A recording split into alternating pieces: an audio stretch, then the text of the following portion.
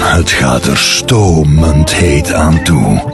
Met de Spicy Chicken McNuggets, Spicy McChicken en Spicy McVeggie. Nieuw bij McDonald's.